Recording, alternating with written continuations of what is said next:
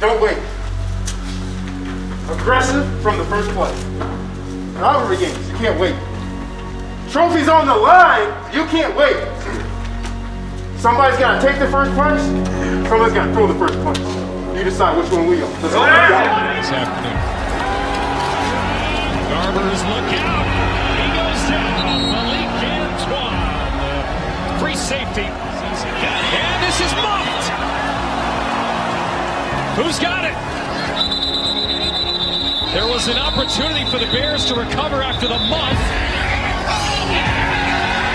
Stanford ball. Now brings some pressure. Mills to the end zone. Caught for the touchdown. It's Wilson. And Stanford is an extra point away from tying the game. And it's blocked.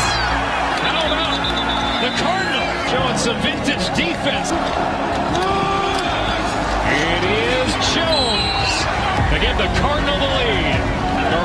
Design run, late pitch. How about the play call to get Dancy fouled the football? It was beautifully drawn up.